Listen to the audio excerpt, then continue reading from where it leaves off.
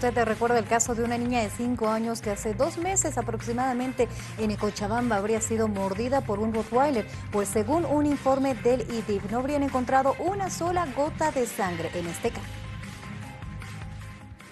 A dos meses de la muerte de la niña Fernanda Valery de cinco años por una hemorragia causada supuestamente por la mordedura de un perro que le destrozó uno de los brazos, resultados del Instituto de Investigaciones Forenses IDIB revela que Satán, el can Rottweiler, no se halló vestigios de sangre en la boca y los dientes del animal. Por ello, autoridades exigen una profunda investigación a este caso. Pedirle con todo respeto al Ministerio Público que dé con los autores o autor de este brutal asesinato que ha sufrido la niña.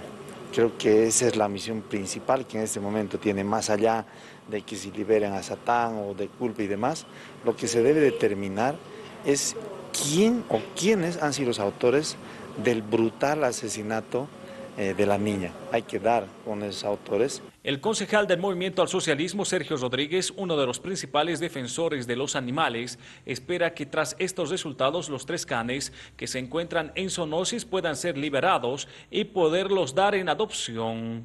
Eh, considero de lo que corresponde es eh, liberar de todo cargo y culpa a Satán y a los otros dos canes también que están detenidos en zoonosis, ¿no?